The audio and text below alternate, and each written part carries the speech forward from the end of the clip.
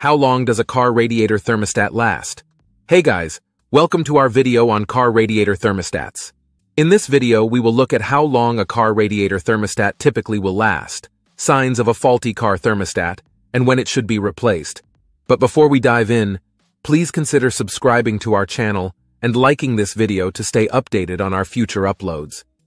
Each vehicle is equipped with a thermostat, which monitors and regulates the coolant temperature in the engine.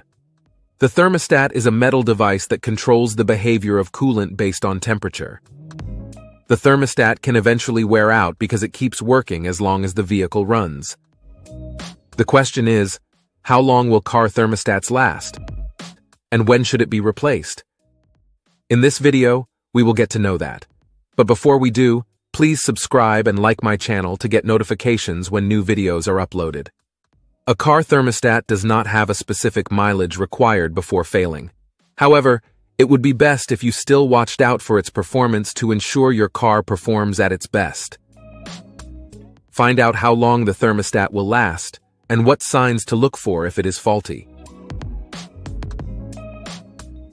How long does a car radiator thermostat last? The car thermostat will not stop working at a specific time. Most car experts do recommend replacing the car thermostat after 10 years. This is an optimistic estimate, as thermostats can stop working sooner than 10 years.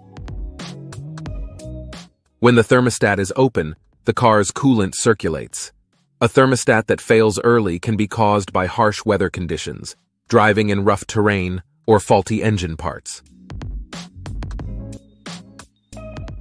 You should replace or have the thermostat checked if it becomes defective. Unchecked, a failing thermostat can cause the engine to overheat quickly and degrade its quality. You can increase the duration of your car parts by creating maintenance schedules. Signs of a faulty car thermostat.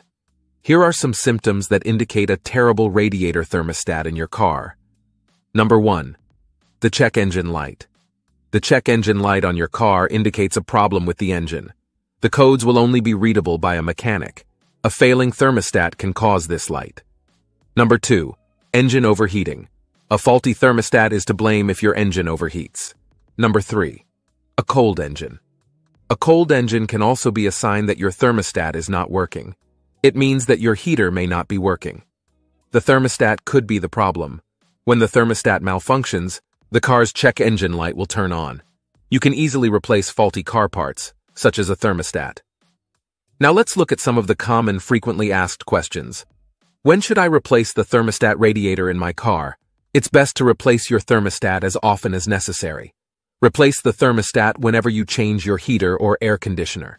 Can a failed thermostat stop you from driving? You should not drive your vehicle without a functioning thermostat. Your engine will overheat if your thermostat is stuck in a closed position. How do you check a car thermostat?